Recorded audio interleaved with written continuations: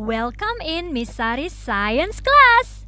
Today we will discuss about solute, solvent, and solution. Ready or not, just be ready. Have you ever added salt into water? Do you notice that when you stir it, it will disappear? Have you ever wondered where the salt went? Solids that can dissolve in a liquid are soluble.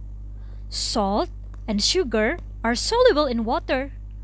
Once dissolved in water, they cannot be seen. The resulting mixture is known as a solution. The salt in this solution is called solute and the water is the solvent. It means solvent plus solute equal to solution.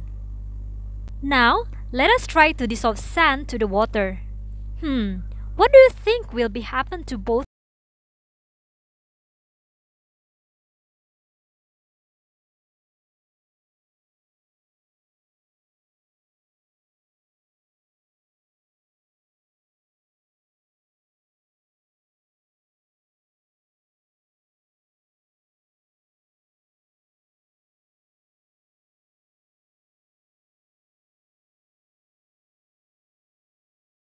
Oh, it doesn't dissolve at all.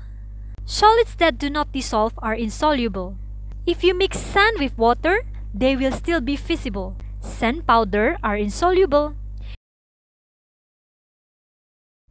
Well, how fast a solid dissolves in a liquid depends on a few factors, such as temperature and the size of solid's particles. So, if you want to speed up the solid to dissolving, you can heat the solution, stir it, or crush the solid into smaller pieces. As more and more of solid is added to a liquid, the solution reaches a stage where no more solid can dissolve. When this happens, we say the solution is saturated.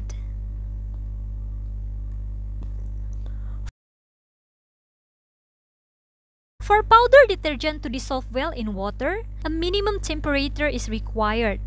Well, you can plan an experiment to find out the minimum temperature at which detergent will dissolve in water. Alright, I think that's all for today. See you in the next lesson. Bye!